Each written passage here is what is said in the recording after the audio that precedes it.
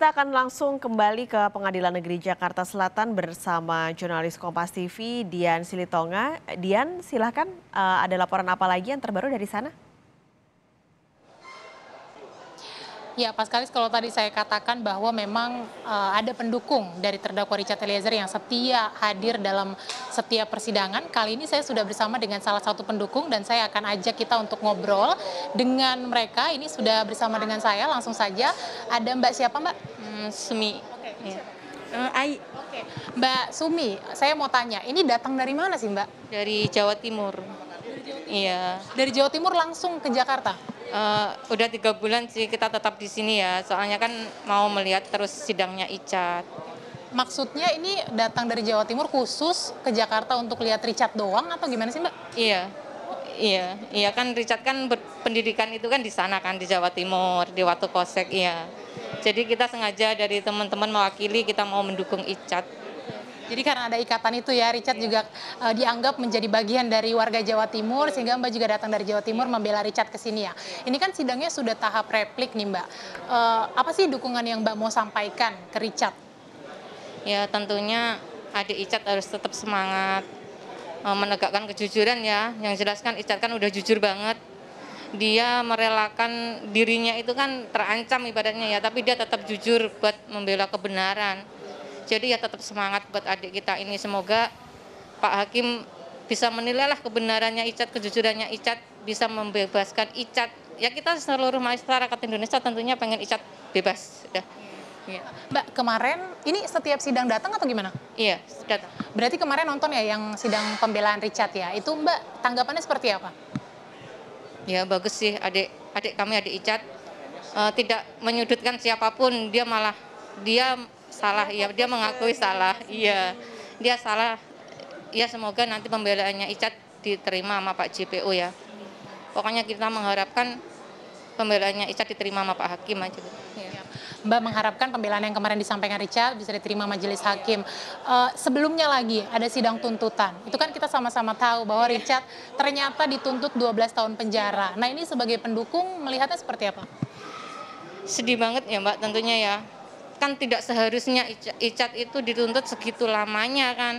Seenggaknya dia kan lebih ringan dari yang tiga terdakwa ya sedangkan yang tiga terdakwa aja dituntut segitu. Kenapa Icat harus segitu banyaknya? E, kami semua ini terus terang aja kecewa sama JPU kecewa banget. Sangat-sangat kecewa. Jadi harapannya Richard seharusnya bisa dituntut lebih ringan dibandingkan Ricky Rizal dan juga Kuat Ma'ruf ya. Tapi kalau berandai-andai, eh, Mbak nih mengharapkan berapa sih angka hukuman untuk Richard? Kalau bisa, bisa bebas, bebas ya. ya. Kita mengharapkan bebas, tapi kalau misalkan Pak Majelis Hakim punya uh, keadilan sendiri, kita minta yang seringan-ringannya buat adik kami. Mbak Sumi ini kan di sampingnya juga ada Mbak Ai. Saya juga mau tanya nih sama Mbak Ai kalau pendapatnya Mbak Ai uh, di sidang replik kali ini yang mau disampaikan ke Richard itu dukungan seperti apa sih Mbak? Hmm, dukungannya ya seperti biasa ya, mungkin untuk uh, salah satunya doa, doa yang terbaik buat adik kami Icat gitu. Yang jelas sih uh, ya intinya lebih keringanan aja hukumannya gitu. Kemarin kan Richard juga menyampaikan pembelaan nih. Pertanyaan saya sama kepada Mbak Sumi tadi sebelumnya. Mbak melihat pembelaan Richard seperti apa sih Mbak? Poin-poin kemarin yang disampaikan? Kalau menurut saya dia lebih fokus ke membela dirinya sendiri ya tanpa menyudutkan orang lain gitu. Soal tuntutan nih, 12 tahun penjara, tanggapan baik kayak gimana? Uh, kalau menurut saya itu sih benar-benar nggak adil sama yang terdakwa yang lainnya ya. Karena dia lebih orangnya lebih apa sih udah berkata jujur masa iya kejujuran dibayar sama 12 tahun penjara kan nggak adil banget gitu. Pokoknya kecewa-kecewa banget. Jadi terakhir harapannya adalah Icat bebas. Ini datang sama siapa aja sih Mbak? Hmm, ada teman-teman berempat kita. Iya, iya. Iya, biasanya berenam, tapi hari ini yang dua Siap. Terima kasih Mbak Sumi dan juga Mbak Ai sudah berbagi di Kompas TV. Selamat menyaksikan persidangan Richard Eliezer. Semoga yang terbaik Semangat. untuk Richard Eliezer. Terima kasih. Ya, pas sekali itu dia tadi yang menjadi harapan dari pendukung Richard Eliezer menyayangkan tuntutan 12 tahun penjara dan mengharapkan uh, putusan dari majelis hakim seringan-ringannya untuk Richard Eliezer karena pertimbangan tadi kejujurannya.